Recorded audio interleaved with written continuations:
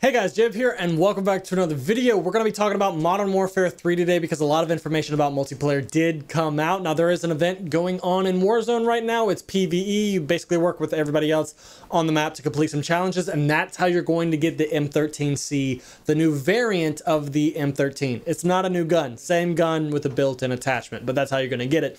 But let's go ahead and go over all the stuff Sledgehammer has actually released regarding Modern Warfare 3 and it really does look like they're just doing the opposite of everything Infinity Ward did. So starting right off the bat, they decided they didn't want to just bring back a couple of the Modern Warfare 2 2009 maps. They wanted them all. So all 16 launch maps from MW2 have been remade for MW3.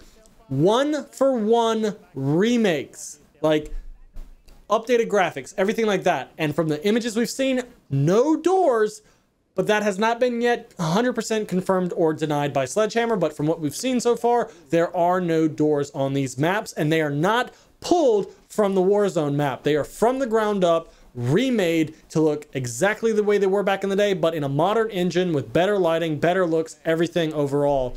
So we have that to look forward to. So that is a good thing right off the bat. To be clear, all the maps we've played before, if you played MW2, not new currently. There's allegedly new maps coming after the fact. We're allegedly for MW3 going to get, I think, even 16 more remakes and possibly 12 new maps, something like that.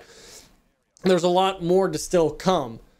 But we're going to be launching with at least a lot of good maps. These are amazing maps compared to modern games, but if we take these maps and compare to against like the games of that time, they're mid. But very good. We're happy with it. The modes that we're going to start off with when the game releases are TDM, Domination, Kill Confirmed, Hardpoint, and some others. Uh, most of the other modes will come out after the fact. Here's to hoping Kill Street Confirmed comes back.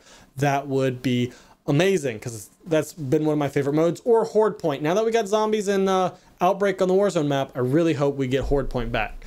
We're getting Ground War with three maps, not the Ground War from MW2, Ground War from Modern Warfare 19, big maps, so we're used to that. War mode from World War II is coming back with one map. And then for those of you who played Black Ops 2, the 3v3v3 multi-team, that's coming back as Cutthroat. When it comes to multiplayer gameplay itself, we're getting the classic minimap back. Back to old school. If you shoot with an unsuppressed weapon, you will appear on the radar. Map voting's coming back. We're going to do 150 health, so it's going to be like Black Ops 4, only because it allows for better tunings for those weapons and a broader scheme so you can actually have some variants and also to make the time to kill a little bit slower because it's way too fast right now. Just you blink and you're dead. Should help against maybe some shotguns and snipers. We'll see. The old school perk system is essentially coming back, but it's going to be called Gear, but all perks will be active the moment you start the match. None of this Modern Warfare 22. Wait throughout the match to get it. Uh, the large map names so far are for ground war are resort, military base, industrial belt, and for the war mode, it is going to be launch facility. Now, the movement when it comes to the multiplayer, they are trying to speed everything up, and the best way I want to like compare this to would be more like Black Ops 3's movement system of fluidity minus the 3D movement. So slide cancels coming back, reload cancels coming back. Thankfully, that is one of the worst decisions they've ever made. We will be faster mantling and mantle while sprinting. So we're preserving the movement. Uh, sound familiar? Uh, we'll be able to fire immediately after sliding. Uh, we will be able to ADS and fire while sliding. If you have the right perk slash gear option, you'll have increased tac sprint dur uh, durations per weapon class. Also, from my understanding, tac sprint will rebuild up while you are sprinting in case you want to do it again. There will be increased uh, strafe speeds and ADS movement. The fact they're just speeding up all the gunplay, like for me, when it comes to Call of Duties, if you can almost instant ADS depending on your perk slash attachment build in the game, usually those are my favorite CODs. So seeing all these changes, that's good right off the bat. Uh, new option coming to MW3, which is supposedly called tac stance, but I'm pretty sure we've kind of already seen this, like the shooting while sliding and stuff like that. Uh, I'm pretty sure we've had that before, so it shouldn't be nothing new.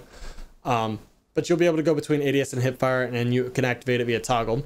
Uh, you can fire while intact, stand while sliding. The movement that you are seeing coming to Modern Warfare 3 will immediately be ported to Warzone. So they're clearly trying to save Warzone with this.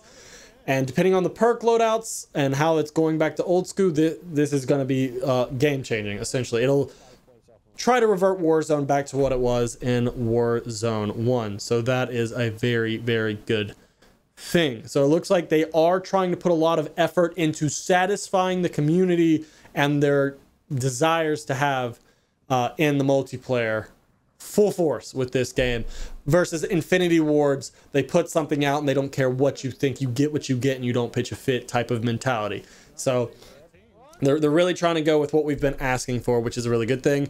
Uh, there is a Steelbook edition that's coming out for the game. It will be available at GameStop in the US, and I think outside of the US, it'll depend on whatever country you are in, so just check with your retailers if you care about that thing still. Um, and then when it comes to zombies, everybody thought we were going to go big, bad, and bold, but it's going to end up being what I try, I think I suggested at the beginning of the year that they should do. There's probably a stream out there that I archived that had it, but essentially they're going to mix DMZ and Outbreak together. So you're playing on the Warzone map, and you'll have zombie locations while that escalating difficulty and stuff like that that is how that's going to exist. So for those of you who needed just something zombies, you'll get satisfied. But for those of you who want the Treyarch round based, sorry, you're not getting that. So zombies will be PvE only. Can't fight other players. Uh, you're going to be on the Warzone map. Four player squads, up to 24 players. So six teams essentially can be on the map, unless you do a lot of partials. And your, your standard buy station ammo, depots, wall buys, mystery boxes, pack a punch, things of that nature coming back. Uh, exfil with rewards, but for I think from what I'm seeing, the match is going to have a time limit and then you're forced to exfil. It's not round based. It's not time or uh, you can't go infinitely. There's it's going to be within parameters. That's probably just because it's going to be kind of like set within that Warzone match time frame where the server is looping. So it will be in the Dark Aether storyline. So the storyline that Treyarch has had in Cold War, this is where it's going to take place. And supposedly it's going to have more information about the universe and like the storyline will continue on that. So that is the current multiplayer slash zombies overhaul, I think of right now. Uh, little bits keep coming out here and there. Uh, what I'm looking for right now when it comes to MW3 is I want to know the kill streaks, I want to know the perks, I want to know if Specialist is coming back. I need the doors confirmed because that will change a massive, massive problem. If they do put doors in there, it will not play the same. But if they don't have doors, we have a very good shot. I want to know if weapon tunings come back. I really hope it doesn't, but because everything's bleeding over, I'm assuming it is. And I assume a lot of attachments and stuff are probably going to be used as well. But this is a very good start. This is a lot of decent information that we're getting right now, and I'm very much hoping that we're only going to see more good stuff coming out. I need to know about Prestiges, camo grinds, things of that nature, but this is a good start. Sledgehammer, you have piqued my interest. Before this reveal, you had my interest, saying you were essentially doing the opposite of Infinity Ward. Now you have piqued my interest. Am I hyped? No. Am I excited? No. I've learned my lesson over the years, but you have piqued my interest, so I will be looking out to see what else you've got to do because it would be amazing if you go from Modern Warfare 22, the worst COD of all time, and yes, I am calling it the worst COD at this point, to the best Call of Duty multiplayer of all time. You'll get a double thumbs up from me. And I really hope you do because MW3 was a banger back in the day, and I know y'all did that multiplayer. So that's what we have so far. Uh, let me know what y'all think down in the comment section below. If you enjoyed the video, drop a like, subscribe if you're new, and I'll see you guys later. Peace out.